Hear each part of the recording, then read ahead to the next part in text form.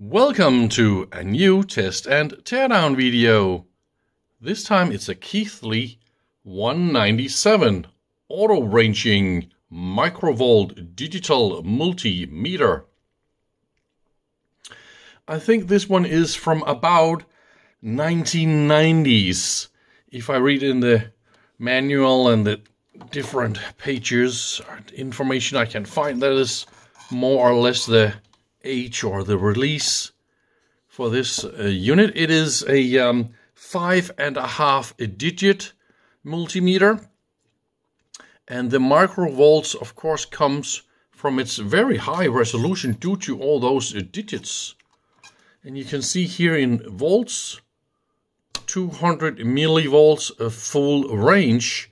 And with all those uh, digits, this will give you a um, 1 microvolt resolution in this range. And of course 10 microvolt and so on, right? I will um, show you here the different uh, resolutions in the different ranges. So that is uh, quite amazing. So I think we will find a very good voltage reference inside this uh, unit.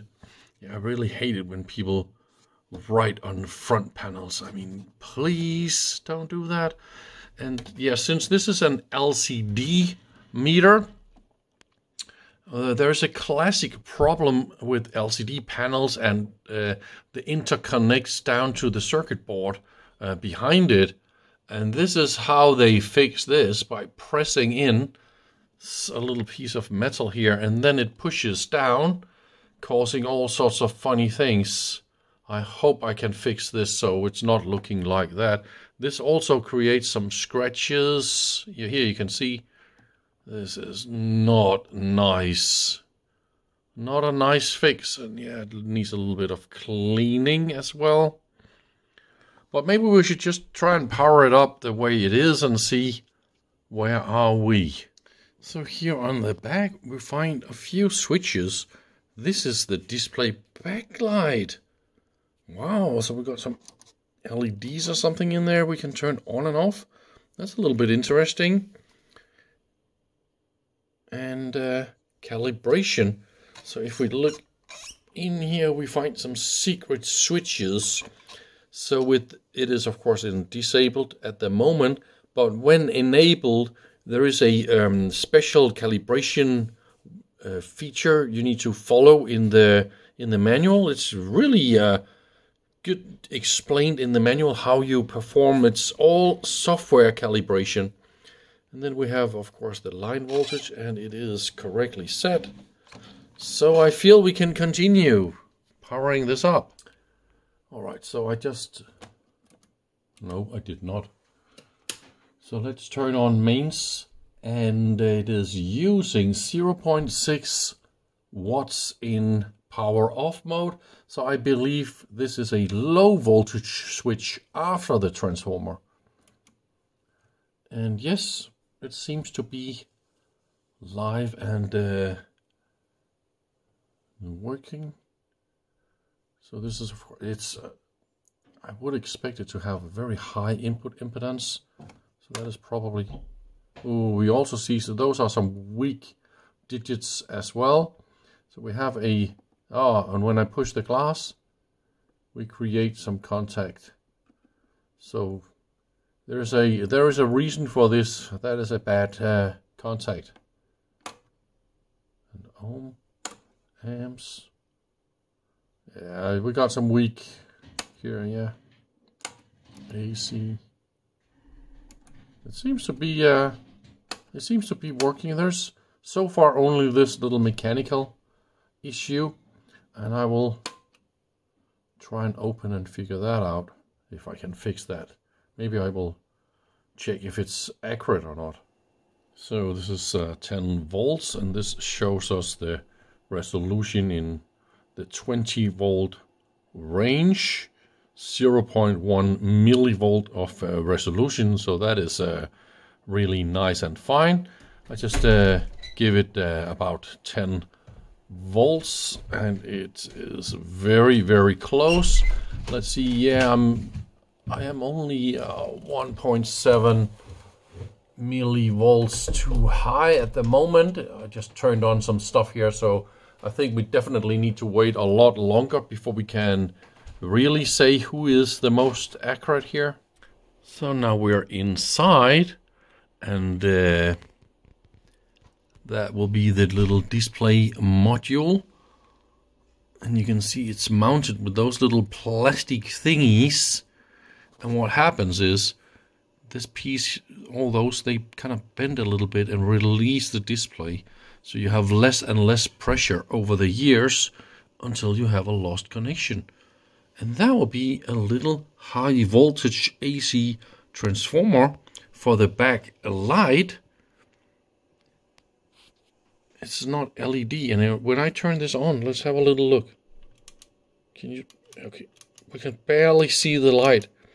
So the idea is you can turn this on if there's complete darkness then it makes probably sense to use it but otherwise it's not making a lot of sense and those uh, LCDs they are quite easy to read it's nice fine size but you see we have some connection to the glass issues so I was able to get the whole thing out of the cabinet it is, of course, nicely shielded.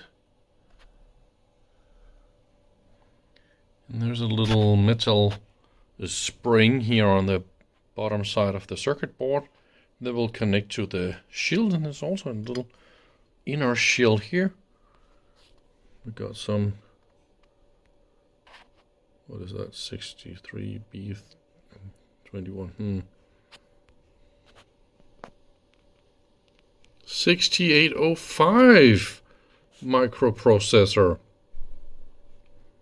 And then the EEPROM for that. So it's definitely a little CPU software controlled. And this is also why it is completely software calibration.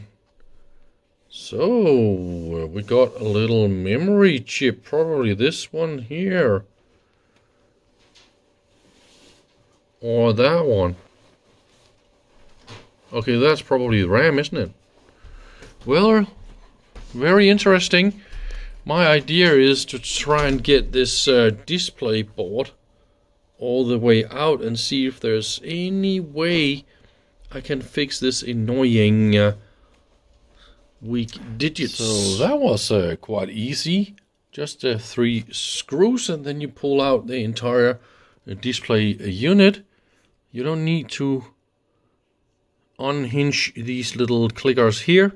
I kind of did that because I didn't see this piece of plastic here is not a part of that front plastic. So we've got three of these on the top and uh, there'll be notes to myself so I know what to do here. And then the the wider piece of plastic goes up as well. Because I know what's going to happen is probably forget how to put these things together, right? So it's always good to note how to align stuff. So here is how this is all done. Well, see, this uh, dude sticks in a dirty, rusty screwdriver to put in this little piece of metal. I mean, who would do that? And look at the scratches made. Oh, that is so, so sad. And um, that will be the contacts on the circuit board. They are tinned really nice and fine. I'll try and clean these a little bit extra so they're super duper nice and perfect. And then there is a um, Another little thing I need to note to myself, and that is the glass is, see, we got a little space here on the right side, but it is all the way to the left side of the plastic. That is also important to, uh, to remember, because I want to take all this out, and we have these little black rubber contacts in here, and they consist of conductive um, plastic and then some plastic again in layers This way you can uh, create a contact from the circuit board to those contacts up here. See, yeah, here you go. Can you see those lines in the glass? That's actually, um, yeah, some conductive coating on the glass that goes all the way into the display. And this is what you want to connect to. So you cannot rub this or remove these, of course, when you're trying to clean it. That will not be good. So down here in this little piece of plastic where this cardboard piece is supposed to go, I added a few layers of tape just to uh, create this little extra press it seems like we need. And I also cleaned this, the contacts, and I also cleaned the circuit board. So now I'll try and assemble just the display and see if that one is alive before I assemble everything. So after a little assembly of the display and a little pre-test here, I am happy to announce that the problem is gone. Look at the contrast in all of the digits. Super, super nice and fine.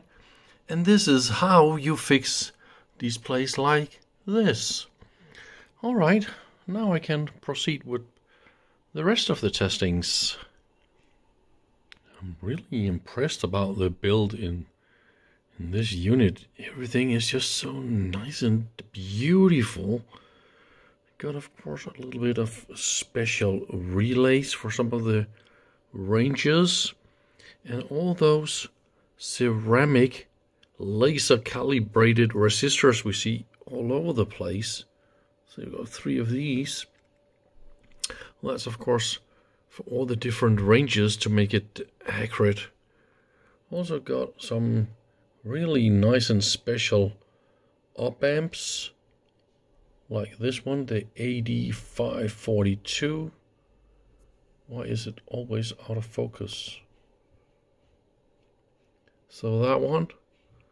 And uh, yeah we got some more right here. Those op amps down there. The TLC27L2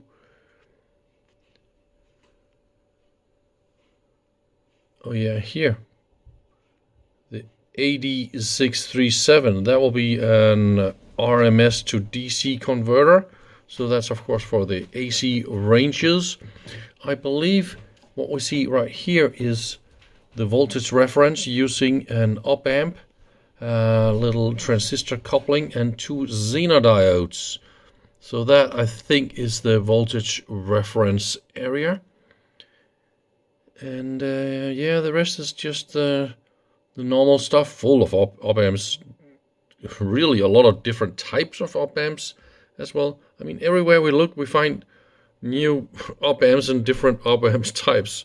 Oh yeah, that will be the 10 amp current shunt. See, no resist, uh, no fuses or anything. The red and the black wire. That's just the 10 amp range. That resistor here that will be the 2 amp range all the way to the left and then some of the other current ranges in the other half of that resistor. So it's really full of uh, special components, definitely. The circuit board is, uh, yeah, just beautiful. There's a, some sort of a missing plug-in module, and uh, Look at the tracks, the power and some signal tracks close together. And that is also, uh, yeah, they're telling us they're know what they're doing. I think it was really cool with this 6805 CPU and all that. Yeah, I kind of like that. It's uh, fully software so I am really happy about how it all went with this meter. I was also able to get this uh, permanent marker away. So uh, thank you very much for watching and I hope to see you soon again. Bye bye.